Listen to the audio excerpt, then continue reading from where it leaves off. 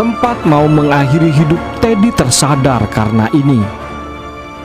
Teddy suami Lina Zubaida mengaku sempat terpikir untuk mengakhiri hidup setelah banyak mendapatkan tekanan pasca meninggalnya sang istri. Niat itu diurungkan saat Teddy mengetahui masih ada seorang bayi yang menjadi tanggung jawabnya.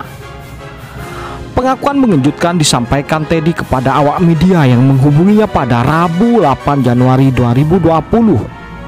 Saya sendiri kalau nggak banyak doa, udah mengakhiri hidup saya juga, ungkapnya. Menurut Teddy, tekanan kepadanya semakin datang bertubi-tubi, mulai dari tuduhan melakukan KDRT sampai dituding memiliki ilmu sesat. Dengan beragam tekanan tersebut, Teddy juga harus menghadapi sejumlah pemberitaan yang dianggapnya banyak menyudutkannya. Iya, saya merasa disudutkan dengan semua ini, katanya. Beruntung lanjut Teddy, dia masih mendapatkan dukungan dari beberapa teman yang selalu mengingatkannya tentang buah hatinya yang masih berusia tiga bulan. Banyak yang ngingetin, kamu punya tanggung jawab, kamu punya Lina Junior, itu yang buat saya kuat dan tegar, ucap dia. Teddy merasa beban hidupnya semakin berat karena kini dia harus berjuang membesarkan anaknya yang baru lahir dan harus ditinggal ibunya.